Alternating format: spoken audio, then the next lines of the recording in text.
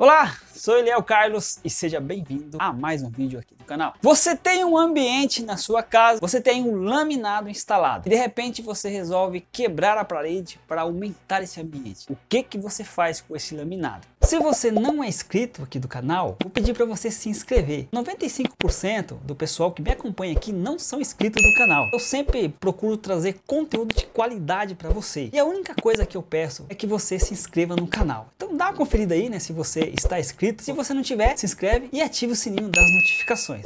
Muito obrigado. Então hoje vou mostrar para você o que aconteceu com essa cliente. Ela resolveu ampliar a sua sala e aí ela tirou, arrancou a parede que dividia a sala em duas e aí ficou aquela parte ali do laminado e a parte sem laminado. Naquela parte ali onde estava a parede, o laminado foi cortado, então tem ponta cega. Você tem que eliminar essas pontas cegas e emendar um novo laminado para poder dar continuidade e no final, quando as pessoas entrarem, ela nem vai perceber que ali foi feita uma emenda. Vai ficar como se tivesse instalado já desde o início. Bora lá para a obra que você vai ver o passo a passo como que se faz esta continuidade do laminado. Bem, este é o ambiente que nós vamos dar continuidade aqui no laminado. Aonde estava a parede foi retirada, né? E aí fica com a ponta cega, aonde foi feito o corte. A gente tem que tirar esses laminados para substituir por peças novas e este ambiente vai ficar todo com o laminado sem a emenda tá bom? Lembrando que para fazer isso aqui tem que ser o laminado clicado. Se for o laminado colado, não dá para fazer isso aqui, tá? No caso do colado, aqui na emenda na ponta cega, teria que colocar um perfil. Como é o clicado, é possível. Por quê? Porque o clicado ele é como se fosse um quebra-cabeça. Dá para desmontar ele e montar de novo usando as mesmas peças, tá bom? Então o primeiro passo é desmontar, pegar as peças inteiras, recorte também colocar junto e depois você vai remontar desmontar. Para fazer esse processo aqui é necessário desmontar uma parte, não precisa desmontar totalmente, tá? É só uma parte e você vai ver o porquê. Lembrando para você que está chegando aqui por primeira vez ou você já nos acompanha, deixa aí o seu like. Se você não é inscrito, se inscreva no canal. 96% da galera que nos acompanha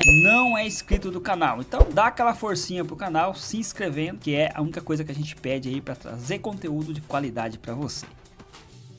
E aí você vai desmontando aí com cuidado, vai juntando as peças inteiras, depois a gente vai remontar aqui. Feito isso, nós vamos retirar aqui os pisos com ponta cega. Esses pisos aqui dá para aproveitar lá no final da parede, mas aqui a gente precisa colocar as peças inteiras. Então a gente vai tirar engavetado e a gente vai instalar as novas peças de maneira engavetada. Aí o que, que você vai fazer? Você vai forrar a manta e vai passar uma fita adesiva para poder emendar uma manta na outra. Ela não escorregar na hora que você for instalar o piso. Aqui na porta a gente vai tirar o perfil com cuidado para depois reaproveitar ele, porque essa peça aqui nós vamos ter que tirar ela também, né? Já que ela também está cega. Então a gente vai desengavetar ela aqui para poder colocar a peça nova. Tirando essa peça, a gente vai usar ela para riscar a peça nova para poder fazer o encaixe. O Ezequiel está fazendo o corte do encaixe da porta para poder substituir ela por uma peça inteira. Lembrando que esse corte aqui você pode fazer com guilhotina ou também você pode fazer na máquina, usando uma máquina. Corta por cima ou uma tico-tico, tá? Dá para fazer esse corte também. E agora a gente começa engavetando a primeira peça para começar a instalação. O Ezequiel colocou ali a espátula porque o piso está empurrando a manta, né? Então ela pode remontar, pode atrapalhar. Então a espátula ajuda para que o piso escorregue e não remonte aí a manta que está embaixo do piso. Com certeza, muita gente vai falar: "Não, mas você está batendo com o martelo, vai estragar o piso". Pode ficar tranquilo que não estraga, porque o martelo que o Ezequiel Ezequiel está usando é um martelo de borracha, tá? Então não estraga. O piso laminado ele é um piso bem resistente, tá? Então a gente usa o, o martelo de borracha para bater. Ah, mas você está batendo o martelo de borracha vai quebrar o clique. Gente, não quebra, tá? Esse martelo de borracha aqui ele é específico para esse tipo de trabalho. Então a gente usa ele para poder encaixar o clique do laminado, que é o clique a pressão. E aí a gente vai engavetando esses primeiros pisos aqui para poder dar continuidade. E enquanto o Ezequiel vai engavetando, eu já vou já instalando a parte que eu levantei aqui. Quando você trabalha em dois, vai mais rápido, enquanto um vai fazendo uma parte, o outro vai fazendo a outra. Você pode ver que o laminado tem essa praticidade. Você encaixa e vai batendo com o martelo de borracha. Repetindo mais uma vez, gente, não quebra, tá? Se você souber usar, ele não quebra o clique, não prejudica o piso. Tem gente que insiste, não, não pode bater. A gente bate, você pode ver que fica perfeito, não prejudica, tá bom? Para engavetar, você vai chutando ele encaixar aí, ou você pode usar o martelo de borracha também. Lembrando que lá no canto, você tem que deixar ali um calço, tá? Para não empurrar e encostar na parede, né? Que o laminado, ele tem que ficar longe da parede, tem que ter um espaço de dilatação, tá bom? Não esquece isso, nunca deixe o laminado colado na parede.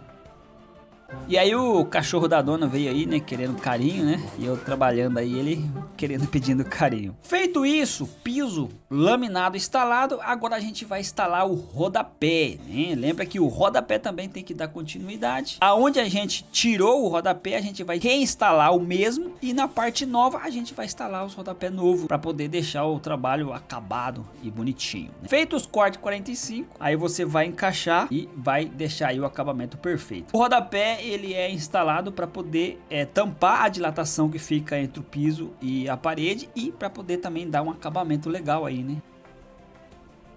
Rodapé já cortado. Agora a gente vai usar a cola AC 6000 para poder fixar o rodapé. A gente está usando essa cola porque ela é muito boa e ela fixa muito bem e o rodapé não vai vir a descolar com o tempo. Então a gente sempre aplica né, uma cola atrás do rodapé. E o legal dessa cola aqui, ela não só é cola, mas ela serve para poder fazer o acabamento entre o rodapé e a parede. Lembrando que esta cola ela é a base d'água, então ela é pintável, né? Caso alguém queira pintar algum dia, ela pega tinta, tá? Por isso que a gente está usando a cola AC1000. Além dela servir como cola, ela também serve como silicone de acabamento. E aí já está finalizado o trabalho e você nem percebe que aqui tinha uma parede né, e o piso deu continuidade.